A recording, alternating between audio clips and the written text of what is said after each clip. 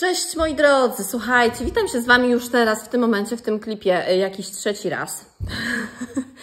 Mam nadzieję, że mi wybaczycie, a właściwie to nawet tego nie będziecie widzieć. Natomiast ja dzisiaj już przyspieszam tempo, mówię już szybciej, dlatego że trzy razy się do Was tutaj odzywałam i witam się z Wami. E, czasu nie mam za dużo, jak to zwykle u mnie bywa. No niestety ten czas e, jednak jest e, bardzo ograniczony. Chciałabym Wam tutaj przy tym stole w tym momencie, teraz już powiedzieć, co kupiłam.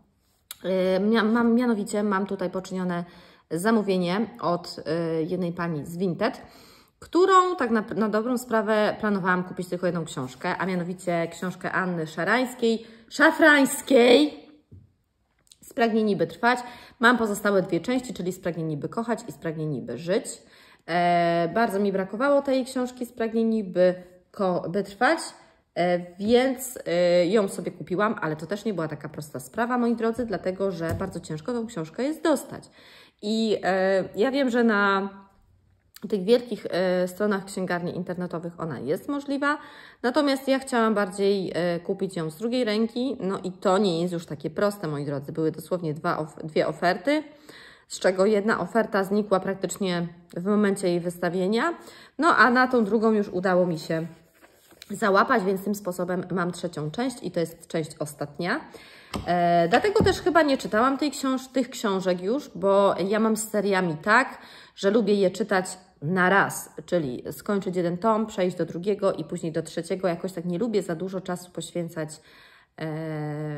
Wiecie, nie lubię tego czasu, że na przykład przeczytałam jeden tom, a później po, nie wiem, dwóch miesiącach czytam drugi tom, albo po pół roku, bo ja już nie wiem, co się działo w tym pierwszym tomie. I chyba, że historia tak mocno by mnie kupiła, żebym po prostu miała w głowie to, co tam się działo, no to wtedy jest inna kwestia. Natomiast no wolę jednak te książki, które są w seriach, czy tam w tomach, czytać tak raz za razem i kończyć jedno i sukcesywnie zaczynać drugie, bo wtedy mam wrażenie, że panuję nad sytuacją, jaka się w tych książkach dzieje. I słuchajcie, moi kochani, a żeby te zakupy nie były takie małe, no to akurat miałam szczęście, bo ta pani, która, od której kupiłam tą książkę, miała w swojej ofercie jeszcze jedną, która dość mocno mnie zaintrygowała i którą miałam na swojej book liście już od dawna, praktycznie od kiedy ona wyszła w Polsce. I jest to książka Zakochaliśmy się w nadziei Lankali w przełożeniu Igi Wiśniewskiej. I muszę Wam powiedzieć, że ta książka jest przepiękna. Ja się zakochałam chyba w całości. W tej okładce, wbrew pozorom, wbrew pozorom, która jest czarna, która ma na sobie tylko dwa kościotrupy bardzo. Ona jest, mam nadzieję, że słyszycie, ona nie jest e, obłożona mm, taką śliską e, warstwą, tylko to jest taka chropowata powierzchnia, mam, mam wrażenie, że kredowa wręcz. E, jest tutaj, nie jest to wklejka, co prawda, ale jest tutaj tył okładki bardzo pięknie mm, udekorowany.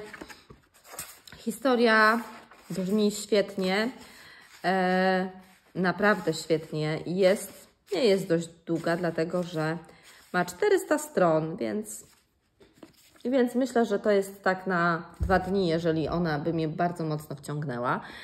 Jest przepiękna, bardzo wiele o tej książce słyszałam. Jak czytałam recenzję, to odnosiłam takie wrażenie, że ta książka będzie jedną z ulub... że może być, że może pretendować do tego miejsca jednej książki z moich ulubionych w tym roku przeczytanych. A ja mam na ten czas chyba dwie albo trzy takie książki, które naprawdę y, są cały czas w mojej głowie.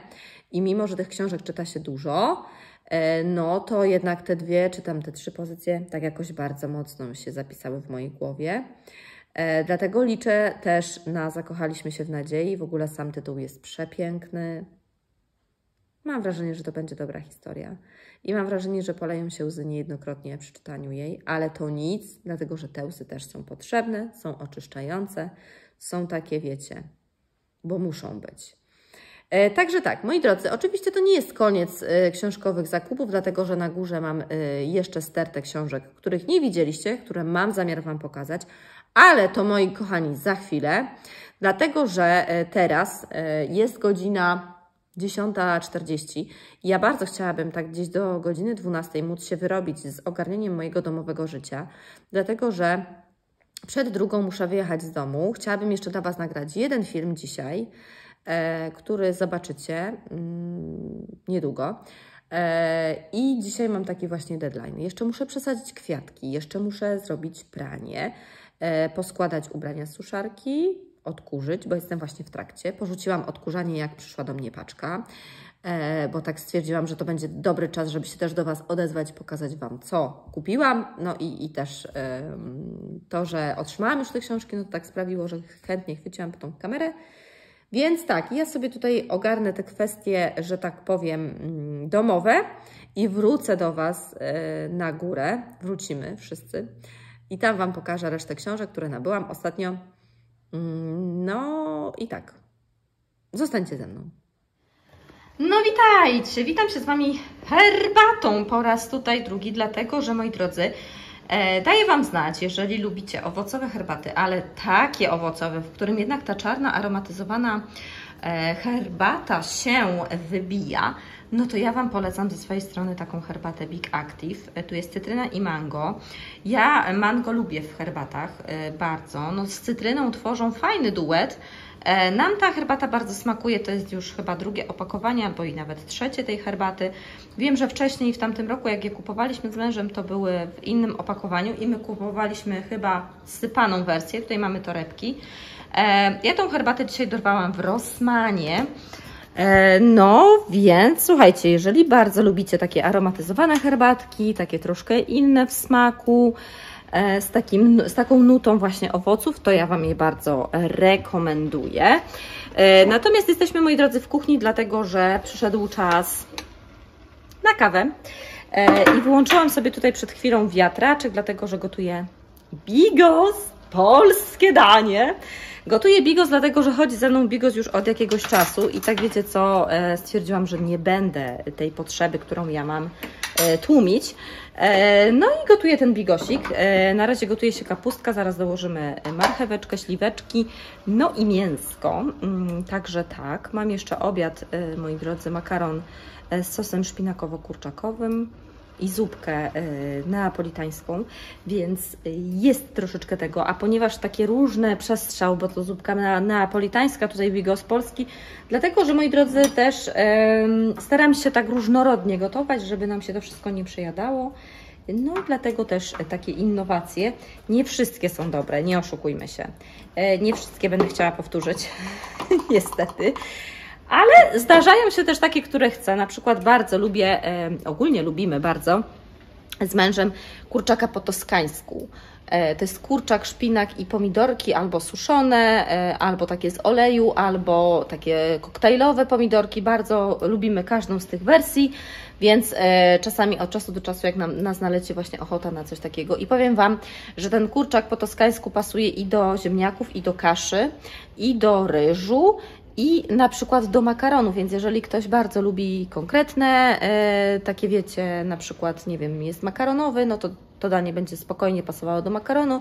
Jeżeli ktoś jest bardziej ziemniaczany, no to też odnajdzie w tym makaronie coś dla siebie, w tym e, kurczaku coś dla siebie. Więc tak, moi drodzy, e, ja sobie robię kawę i idziemy do góry mm, zobaczyć te książki, które dla Was przygotowałam. Tak, tak zróbmy. I tak, moi drodzy, dotarliśmy na górę szczęśliwie. Mam dla Was do pokazania troszkę książek. A to wszystko, moi kochani, dlatego, mm, że już Wam pokazuję. E, troszkę książek do mnie przyszło, jeżeli chodzi o współpracę, bo mam tutaj na przykład z wydawnictwa MG, to Wam już tak szybciutko pokażę.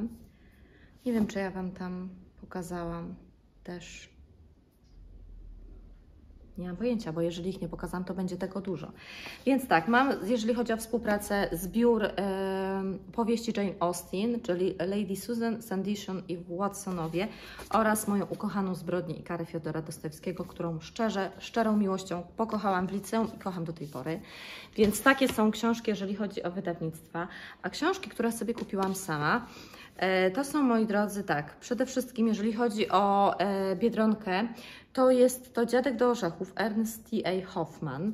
To jest bardzo krótka i taka widzicie zresztą rozkładóweczka tutaj jest bardzo przyjemna. To jest taka bajeczka, w sumie nawet można by powiedzieć dla dzieci, ale niekoniecznie też.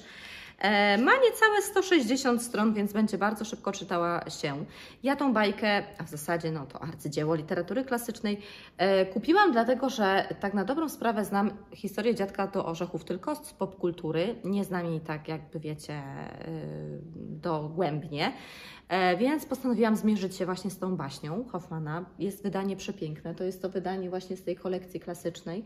E, takie jakie było mm, Hrabia Monte Cristo, Katedra Marii Panny w Paryżu, mam tu Panią Bowery czy Wiek Niewinności. To jest właśnie to samo wydanie ze świata książki, więc e, to ze mną wróciło z Biedronki. Mam tutaj też z to chyba był kiermasz książki w Biedronce i wróciła do mnie e, ze mną też książka Margaret Mazzantini Nikt nie ocali się sam. Tytuł, tytuł ewidentnie mnie kupił, dlatego że no oczywiście okładka, no to tak powiedzmy, pomińmy ten temat. Natomiast tytuł e, Nikt nie ocali się sam bardzo do mnie przemówił. Jest to historia pary, e, która mm, właśnie się rozstała i uczy się żyć osobno. E, to jest taka powieść w stylu mm, kochaj lub nienawidź, mam takie wrażenie, czytając opis tego. E, jest to, o, jest ekranizacja mm, wykonana przez Sergio Castellito w 2015 roku, której nie widziałam i bardzo dobrze, bo pewnie miałabym zakrzywiony obraz e, tego wszystkiego. Więc nie, e, bardzo się cieszę, że nie widziałam. I moi drodzy, przechodzę do książek, które sobie kupiłam bądź dostałam, będę Wam mówiła. Mam tutaj zamówienie z Vinted, które poczyniłam naj oprócz tego zamówienia, które widzieliście dzisiaj, no to wcześniejsze zamówienie to jest właśnie to, które Wam zaraz pokażę. Jest to książka, moi drodzy, Mason Dewey, przełożył Artur Łuksza, Duchy, których nie chcemy zapomnieć. Bardzo często ta książka mi się przewijała na BookToku, e, więc stwierdziłam, że sobie e, będę chciała do niej zajrzeć. Jest to kategoria wiekowa 14+, e, więc no, jest to ciekawie. To jest historia Itana, e, który ginie w wypadku samochodowym i jego starszy Bradley'am e, musi się znaleźć w otaczającym go świecie bez tego brata, więc no tutaj będzie będzie ciekawie, bo pojawia się najlepszy przyjaciel brata, Markus, no i tutaj y, pojawia się jakiś wątek zrozumienia pomiędzy tymi dwoma osobami, może jakiś wątek też y, LGBT, nie wiem, zobaczymy. Mam tutaj książkę, którą bardzo jestem zainspirowana. Ogólnie mam dwie powieści Malindy Joe. Y, Ostatniej nocy w klubie Telegraf i tutaj jest, jest to historia, która Mm, jest tak jakby osadzona w czasach 70. Bardzo mnie ciekawi to, jak Melinda to zrobiła. E, I jest tutaj 17-letnia Lily Hugh. Nie potrafi sobie przypomnieć, kiedy dokładnie to pytanie zakiełkowało w jej głowie. E, no właśnie, bo tu pytała, słyszałaś kiedyś o czymś takim. No i to jest, to jest ogólnie historia kobiet, dwóch kobiet, które mm, się w sobie zakochały. A, to jest e, lata 60. Ameryka w 1954 roku. Mm, no jest tutaj trochę tych właśnie patronatów medialnych. Not My Height, Oczytaniec, Queer, mm, przeczytam, e, Stonewall. No ciekawa jestem, bardzo ciekawa jestem. Mam nadzieję, że się nie zawiodę. Czytałam też opinie, więc no, wydaje mi się, że powinny być, yy, powinna mi się spodobać. I coś też w klimacie Melindy Joe, czyli Rozproszone Światło. E, to jest akurat y, kategoria wiekowa. Bardzo fajnie w ogóle, że mm, wydawnictwa zdecydowały się pisać oznaczenie wiekowe na odwrocie albo tutaj gdzieś, wiecie, na okładce, tak żeby też osoby miały prościej. Jest oznaczenie 14 plus jest. No więc tutaj jest y, historia Ari, która y, jedzie do babci na wakacje. Y, no i właśnie y, coś tam się wydarza coś fajnego. Więc też jestem bardzo ciekawa. Tutaj ma patronat Nikola, doktor Bóg i bestsellerki, więc y, no też jestem bardzo ciekawa, bo słyszałam od Nikoli właśnie na, z jej kanału, że ta książka mogłaby się mi spodobać, więc no jestem ciekawa. I książka, na którą bardzo czekałam, jest to książka Tiffany D. Jackson, której książkę z kolei, której nie mam, a którą bardzo bym chciała mieć, jest y, Monday nie przyjdzie, coś takiego. E, bardzo jestem ciekawa tej książki, natomiast nie tą kupiłam, a kupiłam, moi drodzy, Grown, czyli dorosłą, która też jest fenomenalnie ciekawa. E, też czytałam o niej dużo, nie za dużo, bo nie chcę tracić frajdy, natomiast e, myślę, że ona mi się bardzo spodoba.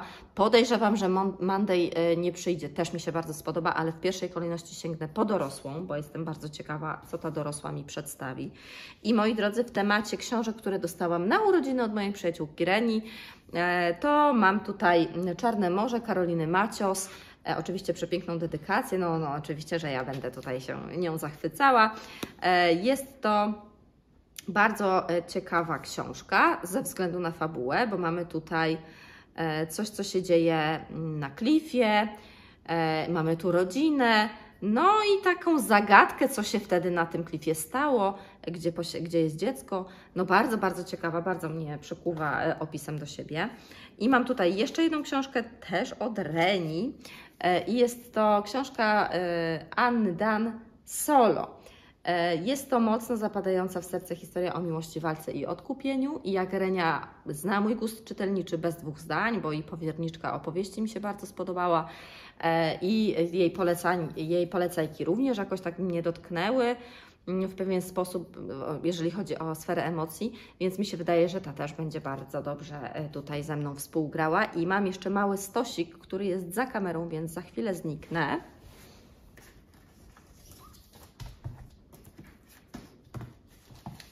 No okej, okay, moi drodzy, to już jest ostatni stos, jest tego troszeczkę. I to są książki, moi drodzy, którzy, które dosta dostałam, dorwałam w Biedronce na Kiermaszu książki, który miał miejsce, no myślę, że jakiś dobry miesiąc temu, tak mi się wydaje, że chyba tak. E, I może zaczniemy od y, literatury dziecięcej, na którą się bardzo skusiłam, bo moi drodzy, e, temat i w ogóle tytuł tej książki to jest sztos. Recepta na szczęście Małgorzaty Korbiel z ilustracjami Martyny Neyman.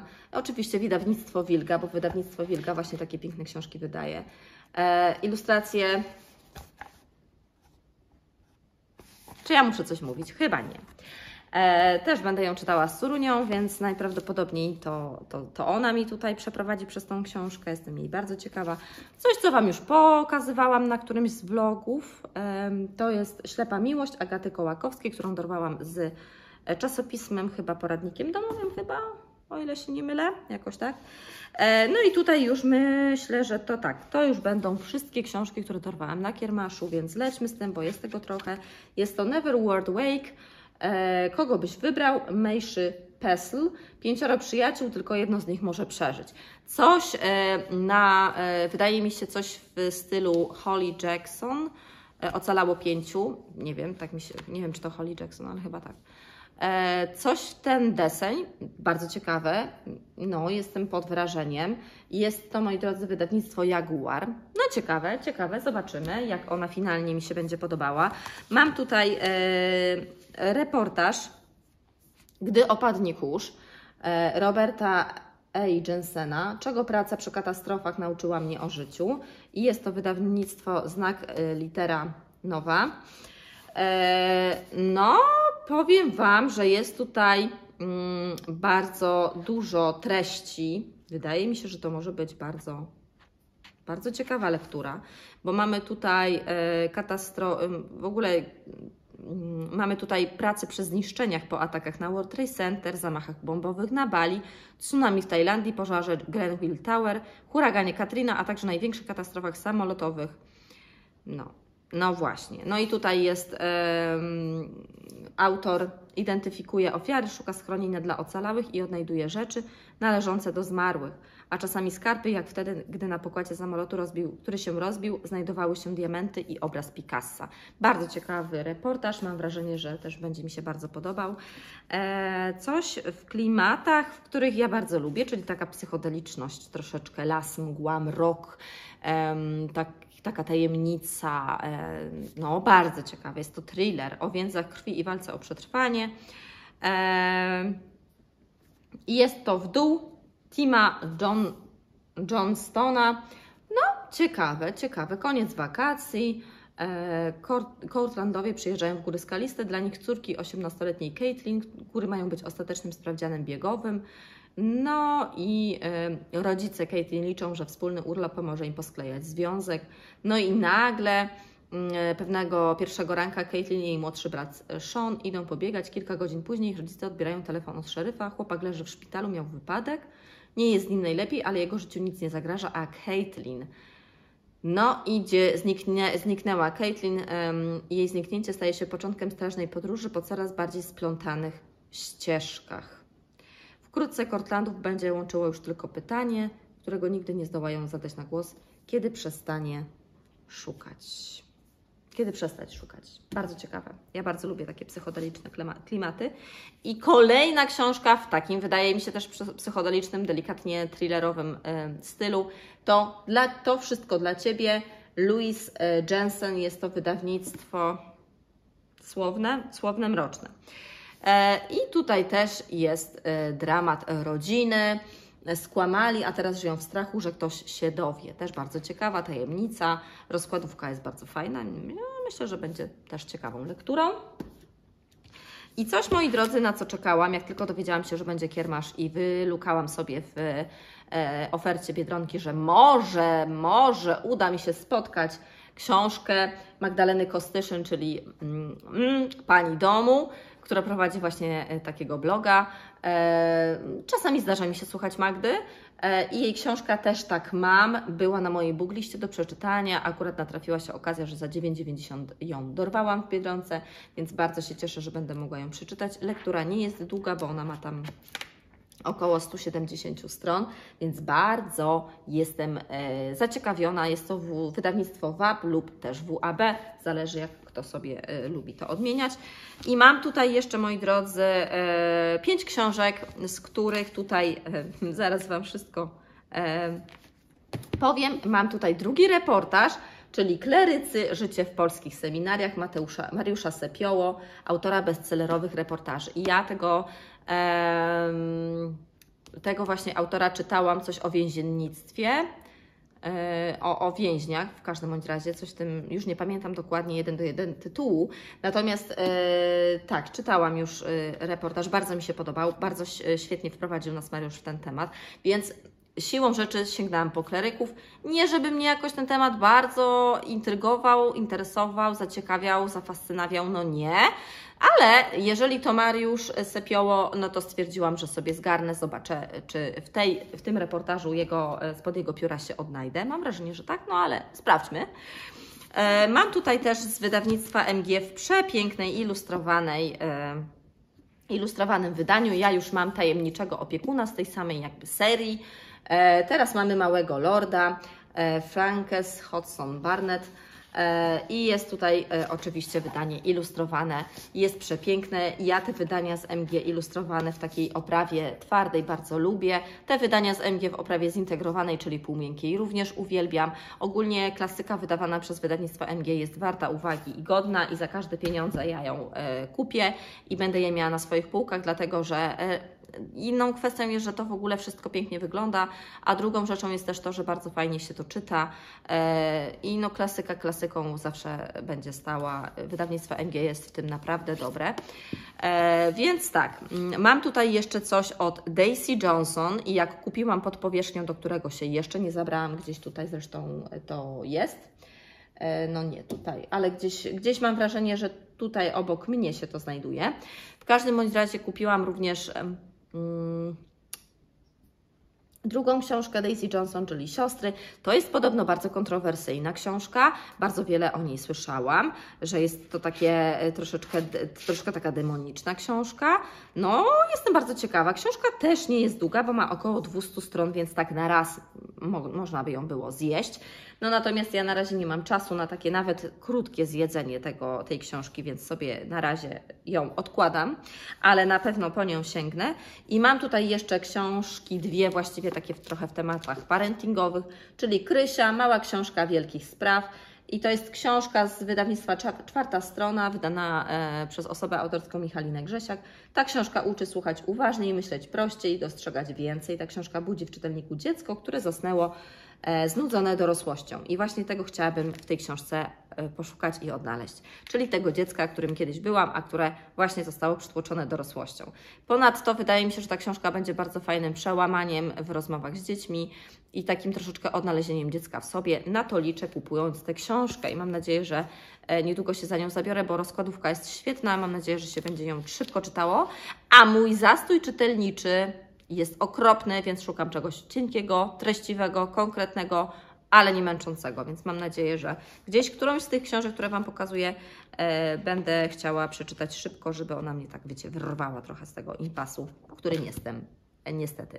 I ostatnia książka, moi drodzy, to książka z przepięknym rysunkiem. To jest typowo książka poradnikowa, parentingowa, macierzyńska. Jest to bliżej. Rodzicielstwo bliskości dla tych, którym kończy się cierpliwość. Ja nie ukrywam, że tej cierpliwości mam, ale mam jej e, niewystarczająco. W sensie niewystarczająco. Ciągle uczę się, moi drodzy, tej cierpliwości mieć więcej. Niestety, jak to jest przy posiadaniu dzieci, tej cierpliwości musimy mieć dużo. Musimy mieć, wiecie, ciężko na zawołanie mieć cierpliwość. Mam nadzieję, że ta książka troszeczkę y, mi przybliży temat cierpliwości jest przepięknie wydana. Same te rysunki to jest po prostu takie, wydaje mi się, y, zobaczcie,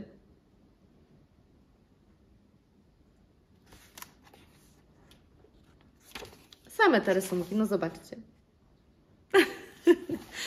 Są świetne. Też wydaje mi się, że to będzie się dość szybko czytało. E, no i właśnie, tu jest takie kompendium, mam nadzieję, wiedzy, no bo tutaj mamy mm, na przykładach e, sytuacje codzienne, scenki, dialogi, dlaczego powinna się cieszyć z każdego nie swojego dziecka, że nie należy od razu biec, kiedy słyszysz mamo, pomóż, jak rozmawiać z dzieckiem, jak żebyś chciała rano wstać, ubrać się i pójść do przedszkola, co zrobić, gdy dziecko krzyczy, nienawidzę Cię, jesteś najgorszą mamą i dlaczego czasami warto odpuścić. E, Książkę napisała Joanna Jaskółka, czyli wiejska matka, autorka znanego bloga Matka Tylko Jedna. Więc bardzo, bardzo liczę też na to, że ta książka mnie troszkę otworzy e, i tak wiecie, da takiego, takiej powieść w świeżości. E, No i że faktycznie tej cierpliwości będę miała więcej. E, Nie mam jej mało, nie mam jej dużo, mam jej w sam raz, ale są dni, kiedy jej brakuje, więc e, mam nadzieję, że Joanna mnie tutaj postawi do pionu i sprawi, że tej cierpliwości będę miała zdecydowanie więcej. Taki to był, moi drodzy, book haul. E, Będę czytała, oczywiście, oczywiście będę czytała, natomiast jestem zawalona e, współpracami, których mam do tej pory bardzo dużo. Jakoś tak ciężko mi to idzie. Bardzo ciężko mi ostatnio też z czasem. Nie wiem dlaczego, bo dzieci poszły do żłobka. Ja tego czasu powinna mieć więcej, a finalnie mam go mniej niż kiedy były w domu. Nie wiem, jak to wytłumaczyć, moi drodzy. Nie wiem, czy to się w ogóle da wytłumaczyć. E, natomiast tak, słuchajcie, kochani, bez zbędnego przedłużania, ja piję kawę, zabieram się za rzeczy, które powinny zostać zrobione. E, no i tak, widzimy się w kolejnych filmach. Mam nadzieję, że coś z tych książek e, Was zainspirowało. Liczę też na to, że Wy też mnie zainspirujecie i coś mi podpowiecie o tych książkach, które Wam pokazałam, czy są warte uwagi, czy nie, jak Wy się do tego odnosicie, albo co Wy czytacie ciekawego. Bardzo jestem Wam wdzięczna za te komentarze, bo to jest taki fajny feedback. E, Ja bardzo sobie cenię to, że możemy w tych komentarzach sobie ze sobą porozmawiać, więc bardzo Was zachęcam do udostępniania, subskrybowania mojego kanału. No i do widzenia się w przyszłych kolejnych filmach. Dziękuję Wam bardzo, moi drodzy. Do zobaczenia. Cześć!